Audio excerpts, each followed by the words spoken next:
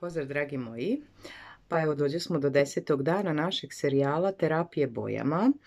Drago mi je što ste uz mene, što mi dajete podršku. Drago mi je što polako već šaljete slike vaših osunčanih flaša. Jako lepo to izgleda, volim da ih objavim, volim kada ih pošaljete. Nastavite samo tako i dalje.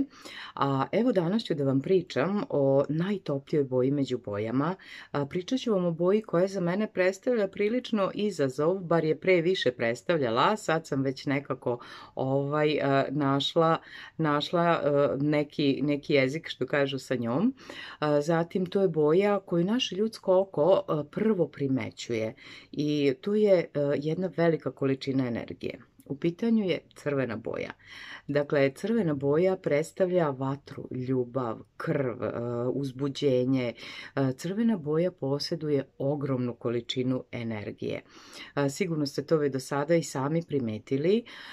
Inače, ona je izuzetno dobra da nam podigne raspoloženje. Dobra je protiv stresa, depresije, nervoze. Dobra je za bolji rad unutrašnjih organa. Dobra je za cirkulaciju, za krv, protiv anemije, protiv e, niskog krvnog pritiska. Dakle, ima mnogo, mnogo benefita ova crvena boja.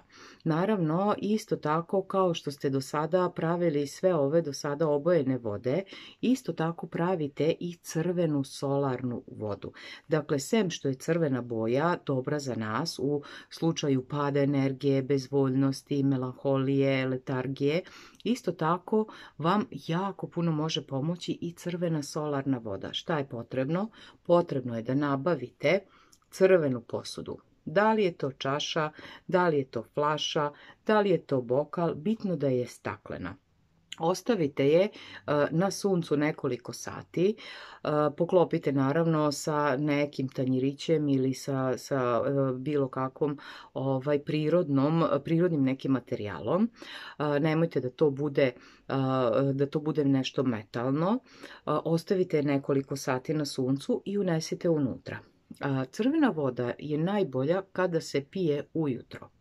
Dakle, ono u tom momentu ubrzava vaš metabolizam, podiže vam energiju, daje vam tu vitalnost, priprema vas za novi dan, za nove izazove koji vas čekaju tokom dana. Isto tako, pogotovo ako, ako imate nizak krvni pritisak, ako, ako ste malo krvni, možete da je pijete i nekoliko puta tokom dana, ali nemojte preterivati sa crvenom solarnom vodom, niti sa crvenom bojom uopšte, jer preterana količina crvene boje može da podstakne bes, znači da se nagomila ta velika energija u nama i da mi jednostavno ne znamo da iskanališemo i da to ispoljimo kroz bes, nezadovoljstvo, kroz histeriju. Dakle, oprezno sa crvenom bojom i crvenom solarnom vodom. Crvena solarna voda isto tako vam pomaže kada ste u borbi sa viškom kilograma. Dakle, možete i onda u tom momentu nekoliko puta dnevno da je konzumirate. Dodajte u vašu flašicu sa vodom kada idete da trčite, da trenirate, ako idete u teretanu, ako se znači bavite nekom fizičkom aktivnosti. I onda će isto jako dobro da deluje na vas. Još jedna pojedinost, jedna zanimljivost koju bi sada da podelim sa vama jeste da crvena boja bukvalno gubi osjećaj za vreme. Šta to znači?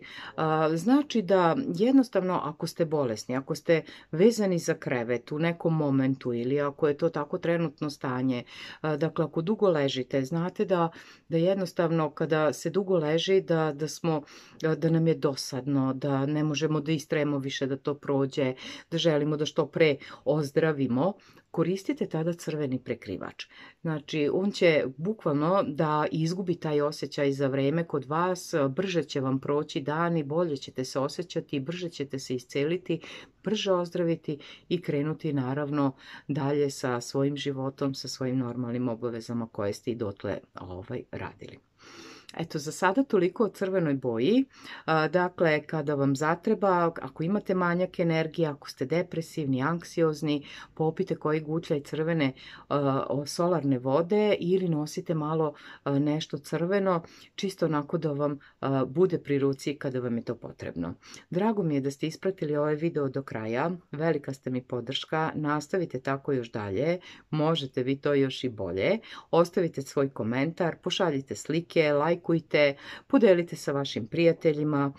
U današnje vreme svima je potrebno nešto što može da nam pomogne u očuvanju našeg zdravlja, a da to nije hemija, a da to nije farmacija.